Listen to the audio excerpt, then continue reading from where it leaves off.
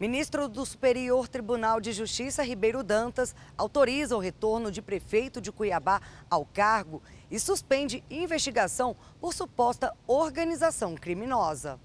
O prefeito de Cuiabá, Emanuel Pinheiro, havia sido afastado pelo Tribunal de Justiça de Mato Grosso em março deste ano, no curso de investigação. Segundo o Ministério Público Estadual, o político seria o chefe da organização criminosa que teria interferido em contratações da cidade de Cuiabá na área da saúde pública inclusive durante a pandemia da Covid-19. No STJ, o ministro Ribeiro Dantas concedeu liminar em habeas corpus para permitir que o prefeito retome ao cargo. O relator explicou que, em outra decisão monocrática, ele entendeu que a Justiça Federal e não a Justiça Estadual é competente para o julgamento de supostos crimes cometidos na gestão municipal de saúde na Prefeitura de Cuiabá.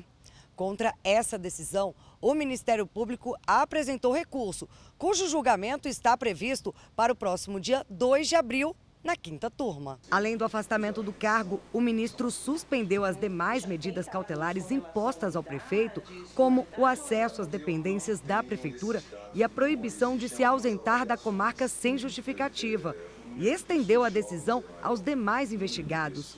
Ribeiro Dantas também determinou que seja suspensa a tramitação do inquérito relacionado aos fatos em apuração.